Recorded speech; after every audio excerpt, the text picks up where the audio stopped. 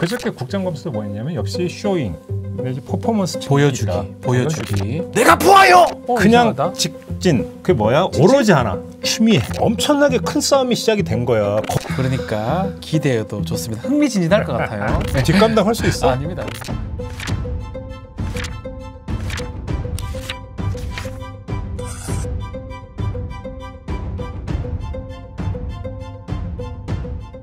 청기누설 24번째 시간입니다. 자, 뭐 오늘은 뭐 얘기를 할 수밖에 없을 것 같아요. 뭐 어제 뭐 뉴스 새겨다가 예고까지 예고까지 했으니까. 했잖아요. 아, 윤석열 검찰총장 얘기를 한번 해봅시다. 아, 윤석열 얘기. 네, 워낙 많이 지금 쏟아졌기 때문에 어, 표정, 아. 뭐 표정이 무섭죠. 어, 뭐 그런데 아. 자, 뭐 이걸 그 이제 어떤 접근법으로 이제 그 윤석열 검찰총장 국감장에 섰던 윤석열 검찰총장을 이야기할 거냐? 우리는 뭐 그냥 보진 않잖아요. 그렇지. 구름, 구조와 흐름으로 보는 건가요? 또? 그렇습니다. 아, 근데 잘 봐야 될 게 오늘은 네. 사실은 속편이야. 속편이다. 네, 속편이기 때문에 흐름에 초점을 맞추겠어요. 속편이면 속편이라고 하니까 뭔가 떠오르는 거 없어? 원편 있었나 우리가 한 번 했던 적 있나요 이거? 여보세요. 좀 한번 관심 좀 했었네. 가져주세요. 아, 관심 있죠. 애정. 도대체 우리가 지금 그 어떤 컨텐츠를 쏟아냈는지 기억도 없지. 다 기억하고 있습니다. 윤석열의 변곡점 얘기한 적 있잖아요. 그렇죠. 그러니까 네. 검언유착 의혹 사건이 한창일 때 네. 추미애 법무부 장관이 수사지휘권을 발동을 했잖아요. 네. 윤석열 검찰총장이 전문 수사 자문단 소집을 수용을 해서 음흠. 추미애 장관이 수사지휘권을 발동을 했고 이걸 뭐 자초를 한 거지 사실은. 네. 이 과정에서 살아있는 권력도 치는 뚝심 총장 이런 이미지가 측근을 살리려는 정실 총장으로 전환되고 있다. 네. 이렇게 진단을 한 바가 있어요. 그런 얘기를 한 적이 있습니다. 그때 바로 우리 그 얼수무당이 이걸 이제 거의 그 과거 완료형으로 얘기하길래 제가 뭐라고 했냐면 아니다 진행형이다. 진행형이다. 그래서 변곡점이다. 아. 이렇게 이야기를 했고 아마 복수 혈전에 나설 것이다. 그 얘기도 했어요. 그 윤석열 총장이 예. 그리고 그러면 복수 혈전의 꺼리가 뭐가 되겠느냐 라임 사태고 옵티머스 사태일 것이다. 아. 라고 이야기를 한 바가 있습니다. 기억하십니까? 기억이 나고요. 네. 지금 그대로 좀 흘러가는 것 같기도 하고 그런데 좀 그렇습니다. 이상해요. 자, 그것에 이제 그 그러니까 속편이기 때문에 흐름을 이야기를 해야 되는데 네. 사실 그때 이야기를 할 때 전혀 예상하지 못했던 돌발 중대 변수가 지금 발생한 아. 거잖아. 그게 바로 김봉현의 폭로. 김봉현의 옥 중 문건이 지금 그것도 2차에 2차에서 공개가 됐습니다. 지금 이 김봉현의 폭로라고 하는 걸 뭐 도저히 예상할 수가 없어. 몰랐지. 어, 이게 있을 줄 어떻게 알았을까요? 그러니까 진짜? 이게 돌발 변수가 발생을 했는데 네. 자 오늘 이야기는 여기서부터 시작이 됩니다. 그러니까 기대해도 좋습니다. 흥미진진할 것 같아요. 음 근데 예. 흥미진진할 것까지는 없고 오히려 심심할 수도 있다. 하지만 심심하다. 꼭 짚어야 되는 내용이다. 그래서 짚는다. 흥미진진한 내용은 다른 언론에서 많이 다뤘으니까 음. 우리는 꼭 짚어야 될 내용을 구조와 흐름에 맞게 말씀. 얘기를 그치. 하겠습니다. 그 우리 그 청기누설의 두 네. 가지 저기 컨셉이 하나는 구조와 흐름, 구름. 구름이고 또 한 가지는 뭐야? 삐딱선 아니겠어요? 삐딱선, 삐딱선. 네. 구름과 삐딱선. 어, 남이 다루는 건 안 다루어 뭐 네. 이런 그지? 베스트셀러 안 봐. 아. 뭐 이런 거. 아, 또 솔직히 좀 그런 네, 솔직하게 있거든. 뭐 그래요. 삐딱선은 이 형님이 타시는 거예요. 제가 제가 타는 건 절대 아니고요. 왜, 아, 왜, 이 벽이 있으니까. 아크릴판 있다고 지금 야 그것까지 어, 알아? 그래? 어, 뒷감당 할수 있어? 아, 아닙니다, 아닙니다. 어? 삐딱선이 저희의 컨셉입니다. 네. 아무튼 네. 그래 좀 이 엊그제 있었던 이제 국정감사부터 얘기를 해봐야 되는데 음. 저 개인적으로는 아주 인상적인 장면이 하나가 있었습니다. 혹시 그게 뭔지 알겠어요? 너무 많아. 뭐 부하 부하냐. 중상모력이 가장 점잖은 표현이다. 뭐 별의별 얘기들이 많아서 음. 여러 장면들이 저는 다 기억이 나는데 뭐 어떤 장면이 잘 가장 저는 웬만하면 이제 그 놓치지 않으려고 네. 웬만하면 약속 안 잡고 그날 이제 저기 뭐 그 보려고 노력 물론 다 보지는 못했지만 저도 다 보지 못했습니다만. 근데 아무튼 오전 일정이 끝날 때 밥 먹으러 가기 직전에 네. 점심 먹으러 가기 직전에 국민의힘의 장재원 의원이 질의를 마치면서 이런 말을 남겨요. 국민 여러분, 총장의 말을 믿겠습니까? 사기꾼의 말을 믿겠습니까? 그, 그 장정은 뭐 하, 저는 별로 그냥 그냥 뻔한 얘기를 또 하, 그렇지. 그런 생각이 들었던 그런데요. 뭐 그렇게 그 얘기할 수 눈에 띕니까 그게? 근데 제가 볼 때는 이게 그렇지가 않아요. 음. 왜 그러냐면 자. 왜 이 점이 인상 깊었다고 보냐? 아, 장재원은 되게 솔직하게 이야기한 거다라고 음. 나는 본 거야. 뭐냐면 이 국정감사가 윤석열 청문회처럼 진행이 되지 않았어요? 그렇죠. 뭐 이런 분석에는 아마 이견이 없을 거야. 그러면 자 청문회의 목적이 뭐였을까? 음. 이 이야기부터 해보자는 거지. 청문회의 다시 목적. 말해서 진실의 규명이었을까? 나는 그건 아닌 것 같아요 좀. 난 아니라고 봐요. 왜 그러냐면 대부 어제 그러니까 엊그제 있었던 국정감사를 포함해서 대부분의 청문회 또는 국정감사가 그렇듯이 네. 그저께 국정감사도 뭐였냐면 역시 showing 내지 퍼포먼스 보여주기, 측면이다. 보여주기. 그러니까 누구한테 보여주는 거야? 국민들한테, 국민한테 보여. 그러니까 지지자들한테. 장전 의원님 어떻게 보셨습니까라는 얘기는 아 그 솔직한 자기 고백이다. 음. 근데 자 그러면 뭘 보여주려고 했느냐? 먼저 여당. 여당은 윤석열 총장의 이미지를 깨려고 했고 음. 야당.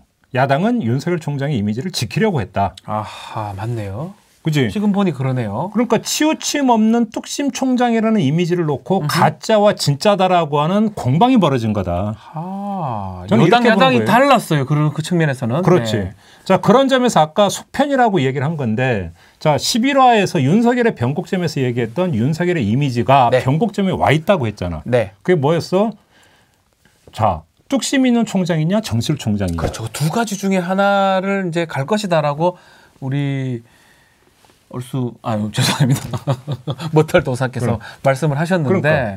계속 어떤 뚝심 총장으로서 고공행진을 네. 할 거냐, 아니면 정실 총장으로 추락할 거냐라는 변곡점에 와 있다. 이 이야기를 했었던 건데, 그렇죠. 바로 그 어떤 이미지 전쟁이 엊그제 국정감사에서 계속됐다라는 거야. 그래서 여야가 처한 질문이나 전술이 좀 달랐다. 이렇게 그거지. 봐도 되는 겁니까? 바로. 거기서 여야의 포인트가 완전히 예, 달랐다. 완전 다를 수밖에 없다. 여기서 그러면 한번 그 전술을 한번 짚어봅시다. 네. 먼저 여당부터.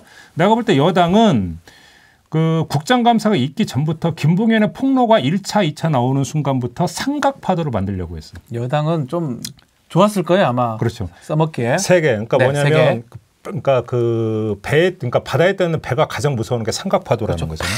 삼각파도로 만나면 그건 100% 난파, 침몰. 죽습니다. 큰일 납니다. 자 여기서 이제 삼각파도라는 게 뭐냐면 1번 예, 첫 번째. 룸살롱 접대와 소스팀 보강이 연결이 되느냐라고 하는 문제. 아하. 두 번째, 야당 정치인 비의 의혹 보고의 문제점. 그렇죠. 세 번째, 가족 의혹에 대한 봐주기식 수사와의 관련성. 이세 가지죠. 그 세 가지입니다. 자, 이 삼각 파도는 정확히 한 지점을 향하고 있어. 그게 느낌이 뭐냐? 와요. 편향. 편향성. 그러니까 윤석열 총장의 편향성. 편향성. 1번은 자기 사단에 대한 편향. 아하. 2번은 정치에 대한 편향. 정치적 성향에 대한 편향. 3번은 가족에 대한 편향. 자기 측근 가족에 대한 편향. 그러니까 만약에 여당의 어떤 그 삼각 파도를 불러 일으키려고 했던 이 전술이 먹힌다면 어떻게 되는가? 윤석열 총장은 최악의 편향 총장으로 이미지화된다는 네. 거지. 그러니까 11편에서 얘기했던 정실 총장 수준이 아니라 총체적으로 최악의 편향성을 갖고 있는 아주 나쁜 총장이다라는 바로 이미지가 그거지. 되는 거네요. 그렇지. 자 그러면 야당의 전술은 뭐냐? 야당은 어떤 전술이죠 그러면? 직진주로 어, 그냥 이상하다. 직진. 그게 뭐야? 오로지 하나. 추미애. 아, 계속 추미 얘기를 했어요. 그러니까. 그러니까 더 정확하면 추미애 법무부 장관의 수사지휘권 발동의 위법 부당성. 아. 이걸 집중하는 이거 여기에 집중을 했어. 네. 자 그러면 윤석열 총장의 이미지는 어떻게 되냐면 위법 부당한 수사지휘권을 남용하는 정치 장관에 의해서 핍박받는 총장이 돼버려. 음. 또 그것을 꿋꿋이 버텨내는 뚝심 있는 바로 그거지. 바로 내가 부하요. 아, 아, 죄송합니다. 예. 그런 생각이 바로 거기서 있네요. 그러니까 그 음. 부하라는 발언이 바로 이 지점에서 어떤 맥락에서 네. 그 나온 것인가를 보면 아하. 이거는 이 그 상당히 어떤 뭐냐면 전략적인 단어 선택이었고 음흠. 포인트였다. 이렇게도 볼 수가 있는 거죠. 그렇죠. 그 부하 때문에 엄청나게 시간이 많이 끌어졌어요. 계속 질문하다가. 그래서 아주 격렬하게 공방이 붙었던 게 바로 그 지점인 이유가 그렇죠. 여기에서 나오는 요 거예요. 부분 때문에 그런데 음. 자 좋습니다. 자 구조와 흐름을 충분히 음. 얘기가 된 것 같은데 예. 그렇다면 여당 야당 전술 중에 성공한 거는 어디라고 봐야 됩니까 그러면? 근데 그게 이제 문제는 뭐냐면 예. 엊그제 했었던 국정감사는 하나의 어떤 계기점, 아주 그 이제 그 피크점에 와 있는 계기점이었고, 예. 근데 문제는 그것이 끝난 게 아니라 오히려 그게 시작점이었으니까 이제 언론이 받아서 아 언론하고 어제 여론이 오늘 음, 어. 어제 오늘 그 보도 나오는 거 봐. 어떻게 나오나. 내가 볼 때는 이 제 2라운드 이미지 전쟁이 이제 오히려 본격적으로 시작이 되는 거기 때문에 네. 이 추세까지 같이 봐야겠죠. 그래서 아. 지금 뭐 누가 이겼네 졌네 누구에게 유리했다 불리했다를 이야기하는 건 내가 볼 때 섣불러요. 네. 다만 판세는 대충 짚을 수 있을 것 같아요. 아 그러니까 그러니까 음. 보시는 분들이 궁금해하셔요. 음. 어떻게 우리 모털도사는 판단하고 계시는지 네. 바로 여기서 누가 이긴 건지 이걸 보기 위해서는 음. 여당이 그 집어들었던 무기와 야당이 집어들었던 무기 를 비교를 하면 돼. 왜 그러냐면 판세라고 하는 게 요즘은 현대전이잖아. 예. 보병이 중요하지 않고 뭐가 중요해? 뭐 다 중요하죠. 네. 첨단 기계 뭐 다 중요하고 무기가 중요한 건데 예. 요걸 보면 이 무기가 뭐냐에 따라서 중화기냐 경화기냐 음. 이거에 따라서 판세를 대충 규정을 한다라는 거예요. 조금 알기 쉽게 얘기를 하면 뭐가 자, 될까요? 이렇게 네. 말씀을 드릴게요. 자, 여당은 예. 아까 내가 삼각파도를 얘기를 했죠. 음흠. 그, 그 말은 뭐냐면 윤석열 총장과 관련 비위 의혹을 내세우고 있는 거예요. 그렇죠. 윤석열 총장 관련 비의혹입니다. 직간접적인. 예. 근데 야당은 수사지휘권 발동의 위법성을 문제 삼고 있는 거예요. 추미애 장관 수사지휘권 발동. 그러니까 뭐냐면 상대를 죽일 수 있는 킬러 컨텐츠라고 하는 데 있어서 그러니까 그 컨텐츠의 성격이 달라. 무기의 성격이 다르다. 아, 완전 다르라. 어떻게 보면 같이 같이 대립되지 않고 음. 비켜가는 모양새라고 그러니까 봐야 될 것 같거든요. 바로 이 무기의 차이가 예. 판세의 차이를 규정할 수 있다라는 게 그러니까 제가 드리고 싶은 말씀인데. 좀 더 그러니까 상세하게 풀면 먼저 야당의 무기부터 봅시다. 야당의 무기는 추미애 장관의 수사지휘권이 잘못됐다, 음. 위법하다 그 얘기를 했다는 이거는 거죠. 뭐냐면 예. 팩트의 문제가 아니라는 거야. 해석의 영역이지. 아, 맞습니다. 이거는 팩트가 아닙니다. 수사지휘권을 발동했느냐 안 했느냐라는 진실 게임이 아닌가요? 아니에요. 수사지휘권 발동한 거 다 알아. 예. 다 아는데 또 법상으로 할 수 있고요. 그러니까 그런데 이게 위법하냐 아니냐의 어떤 논란의 수준이야. 해석의 영역에서 벌어지는 좀 논란이. 과하냐, 저렇게 굳이 할 필요가 있느냐, 음. 뭐 그런 문제라고 봐야 되겠죠. 그러니까 이거는 뭐냐면 딱 부러지는 결론이 나오지를 않아. 아 맞네. 게다가 공방의 양상이 뭐냐면 수평적인 거죠. 시소 게임이라고 그러지. 시소 위에 올라타가지고 올라갔다가 내려갔다. 살짝 올라갔다가 살짝 내려갔다. 근데 문제는 여기서 네. 갑자기 어느 하나가 지하로 푹 빠지는 이런 경우는 없다라는 거야. 그러니까 이건 어떻게 돼? 되게 지리하지. 요 공방은 오래 갈 수, 금방 해결될 수 있는 공방은 아니네요. 간단하게 어. 하면 결론이 날 수가 없다는 결론이 날 수 없는 공방이네요. 어쩌면. 그렇죠. 그래서 네. 판세에 미치는 어떤 임팩트는 약하다라는 거죠. 음, 야, 그러네요. 딱 그치? 그러네. 동의? 아, 동의합니다. 그잖아. 여당의 무기는 좀 어떻습니까? 자, 그러면 보자고. 아까 비위 의혹이라고 했잖아. 예. 자, 이거는 뭐냐면 하나라도 만약에 사실로 밝혀지는 순간에 이거는 이거는 뭐, 뭐, 시소가 아닙니다. 이거는 끝, 뭐 끝나요, 끝. 음, 이제 전, 끝난다고. 전 문 용 어로 골로 간다고 그러죠. 여기, 여기 얼굴 봐. 에이, 예. 그러니까. 큰일 나요. 여기는. 그러니까 근데 문제는 이게 사슬 효과를 발생을 시켜요. 연쇄 효과가 나오는 거예요. 그러니까 무슨 얘기냐면 어느 하나라도 만약에 사실로 밝혀지는 순간에 연쇄 파급 효과를 나오면서 아직 확인되지 않은 의혹까지 어, 이- 어 이게 그래? 그럼 저것도 저건 거 아니야? 아니 대접받은 걸 하긴 했는데도 안 한 거야? 그러면 자기 친인척도 봐준 거 아니야? 이렇게 파급이 되겠네요. 바로 연쇄 파급 효과가 발생이 된다라는 거죠. 아 그러니까 공방의 양상도 그런 점에서 달라. 야당의 무기는 해석의 영역된 시소 게임이고 네. 주거니 받거니 하는 장군망군 게임이지. 그러네요. 그잖아. 근데 여당의 무기가 동원이 되면은 전혀 양, 다른 양상을 보는데 그건 뭐냐면 유격전이야. 이- 왜 유격전이냐면 윤석열 총장은 결박돼 있어. 음.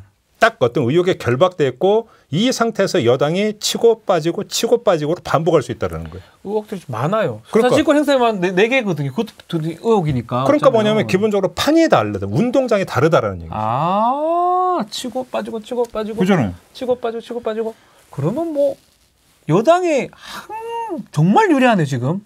뭐 그러 뭐 그건 알아서 해석을 하시고 그 더 짚을 게 하나가 있는데 예. 자 윤석열 총장을 둘러싼 이 공방의 양상과 속도 이거보다 더 근본적인 게 뭐냐면 공방의 성격이에요. 성격이요. 음. 네.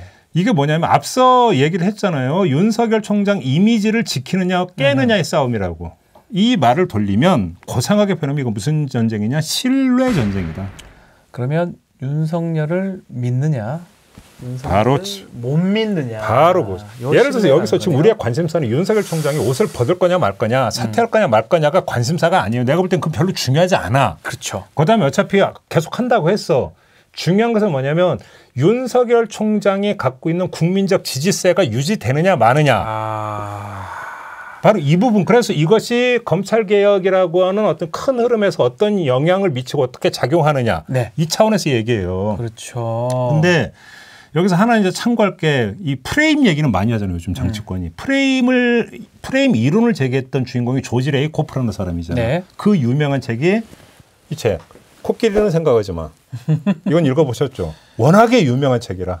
제목을 봤습니다. 아, 예. 읽어 보지 못했습니다. 문제는 프레임이다. 아, 전 되게 유명한 책인데. 아, 예. 제목을 알면 되시고 다 아, 읽어볼 예. 필요가 있습니까? 아, 그, 그, 알았어요. 또 알, 하여튼, 설명해 주잖아요, 다 우리. 네. 근데 이 그 코끼리는 생각하지 마에서 레이코프가 프레임만 이야기한 게 아니야. 네. 여기서 한마디 걸친 게 더 있는데 그게 뭐냐면 신뢰야. 신뢰, 믿음. 그렇지. 음. 어, 이게 뭐냐면 조금만 풀어드리면 레이코프가 주장하기를 네. 사람들이 어떤 진술의 거짓말 여부를 판단하는 데 있어서 사실을 가장 중요한 요소로 생각을 갖지만 전혀 아니라는 거예요. 음. 대부분의 사람들은 비록 그 진술이 틀렸다고 해도 네.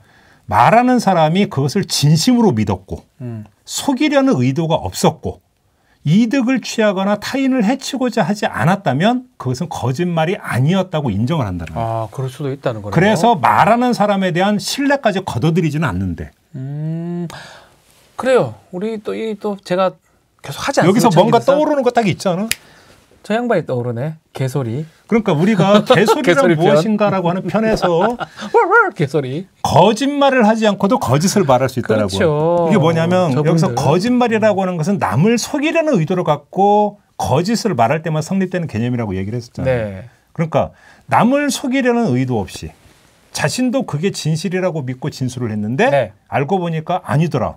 이건 거짓말이 아니야. 음. 거짓을 말한 것이긴 하지만 거짓말은 아니라고 했잖아요.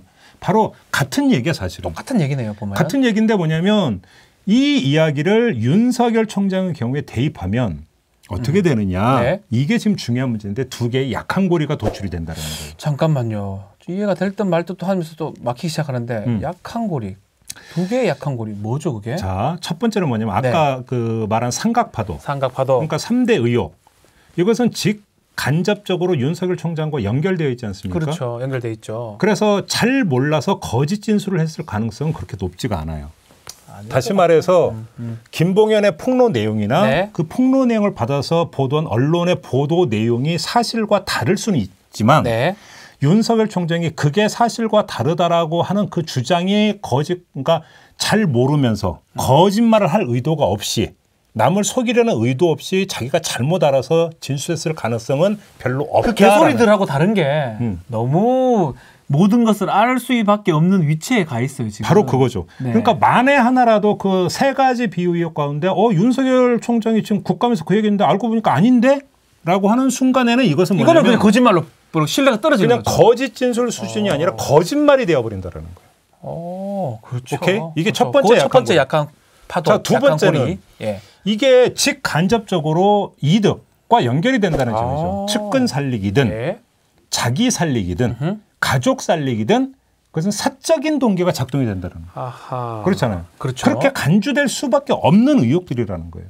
그래서 모든 게 다 그래요. 어, 지금. 만에 하나라도 윤석열 총장이 그래서 거짓을 진술한 게 드러난다면 그건 아주 나쁜 거짓말이 된다는 거예요. 야. 사적인 사적인 동기가 작동이 된 나쁜 거짓말이 되어버린다는 거예요. 야 지난번에 그 개소리들은 그래도 뭐라도 피해갈 길이라도 좀 있었는데 음.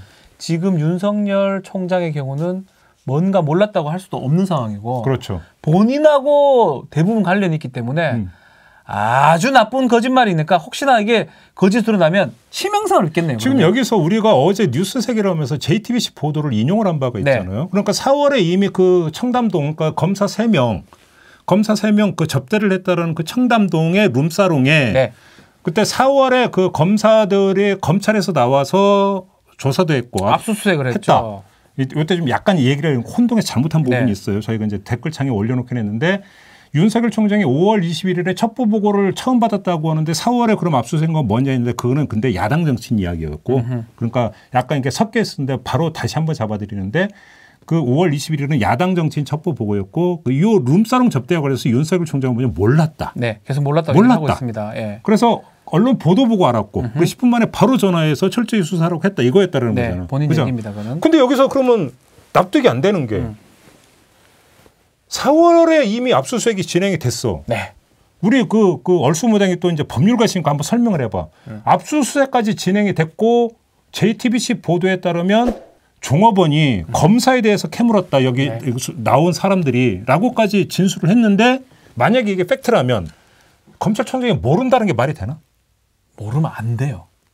모를 수도 없고요. 응. 전결 이런 거 얘기할 필요가 없습니다. 아니 이게 혹시 왜냐? 그러면 지검장 수준의 정결로 갔을 아니요. 그렇다고 하더라도 그렇다고 하더라도 일단 압수수색을 했다라는 거는 사건 번호가 따졌다라는 겁니다. 음. 우리 소위 말하는 형제 번호를 딴다고 표현 하거든요. 형제라고 하는 게 형사 사건 제제몇몇 번. 번. 그러니까 줄여서. 형제지. 그렇죠. 2000 브라더가 아니지 브라더는 네, 아니고. are brother가 아니고 형사 사건 음. 제몇 번인데 2020 뭐 형제 몇 번 따겠죠. 음. 그걸 따고 나서 법원에 영장을 받은 다음에 압수수색을 들어갑니다. 네. 입건이 됐다고 봐야 되는데 음. 그게 아니고는 몰래 그냥 이런 거 없이 조사하는 것밖에 안 돼요. 근데 음. 압수수색을 했다라는 거는 번호를 땄다라는 거고 번호를 땄는데 이 사건은 검사 비위 관련된 거예요. 근데 여기서 우리가 하나 네. 몰아가면 안 되는 거잖아. 몰아가면 안 되는 거고 아무튼 윤석열 총장은 야밤에 네. 그 답변을 했다고 하던데 그 건이 아니라 룸사롱 접대 건이 아니라 청와대 그 뭐 비서관인가 행정관인가 네, 행정관 그 건. 건으로 그러니까 난 알고 있다고 그때 답변했다고 만약에 그게 사실이라면 그래도 말이 안 되죠. 왜요? 예- 예컨대 거리가 있는 거잖아요. 검사 얘기가 있다면 음. 이게 수사팀이든 아니면 지검장이든 당연히 대검 검찰총장한테 보고가 되지요. 그러니까 포인트는 바로 그거잖아. 그러면 그 JTBC하고 인터뷰했던 그 청담동 룸사롱 종업원이 네.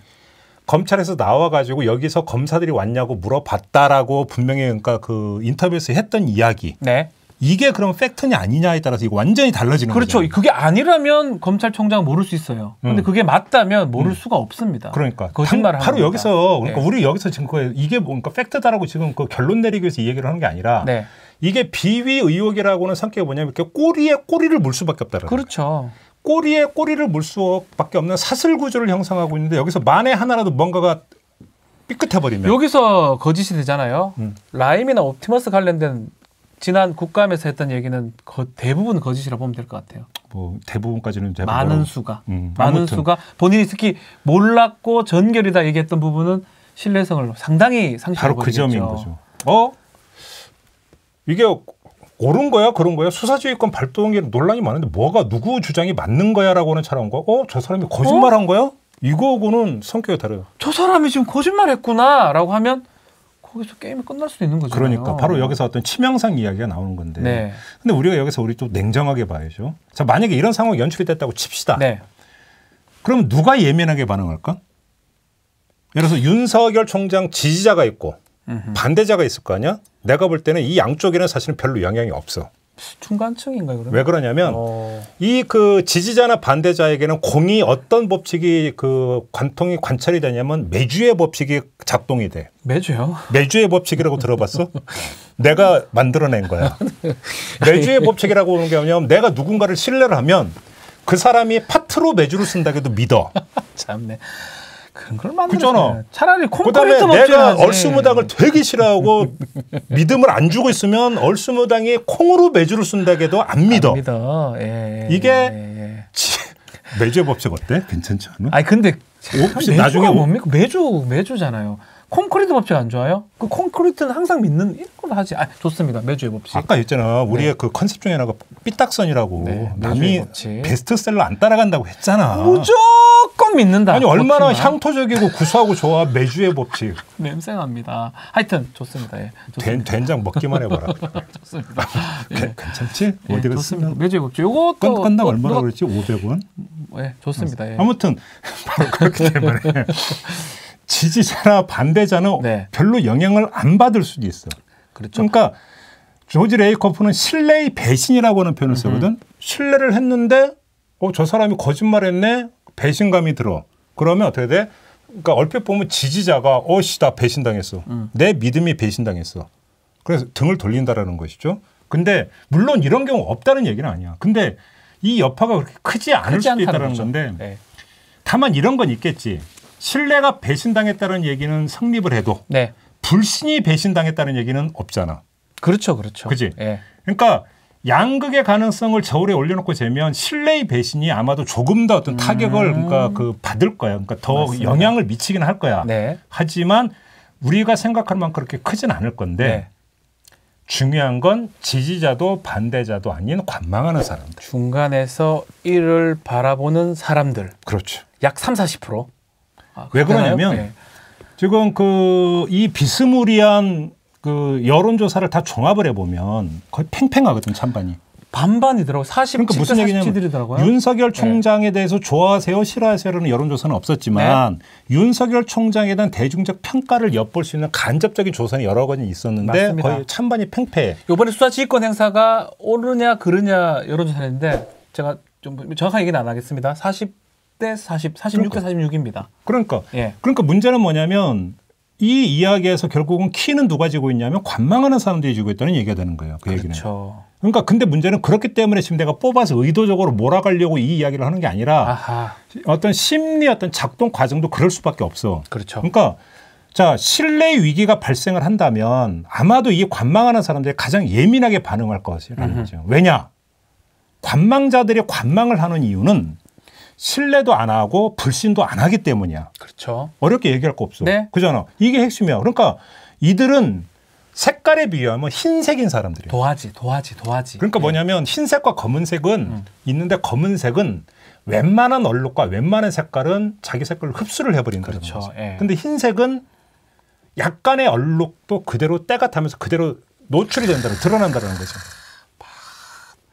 어, 비유 괜찮았어. 예, 좋아요. 조금만 그 도화지들은 약한만 해도 싹 그냥 그러니까. 막, 막 완전히 휩쓸립니다. 바로 그거 그렇기 때문에 네. 이들의 민감도는 엄청나게 커. 그렇죠. 바로 돌아서는 거지. 아하. 그러니까 신뢰의 배신, 그러니까 지지자가 어 내가 믿었는데 아니네, 나 배신 맞았어라고 하- 해서, 그러니까 만약에 그 결과가 나타난다 하더라도 그거는 시간이 걸려. 왜냐하면 일단 그 신뢰감이 구축이 됐었던 거잖아. 그렇죠. 그러니까 있는 게 무너지는데 걸리는 시간이 있다라는 거야. 오래 걸리죠. 무너지는데 시간이 있는데 이 사람들은 아예 신뢰가 구축이 된 사람들이 아니기 때문에 시간이 걸릴 이유가 없어요. 바로 그냥 자동 모드로 돌아서 버린다.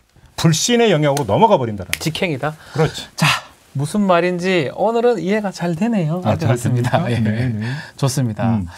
그래서 국감이 그런 의미가 있다는 거네 결국은. 그러니까 엊그제 국감은 네. 여기서 누가 이겼느냐를 따지는 것 음. 자체가 내가 볼때 의미가 없는 게 네.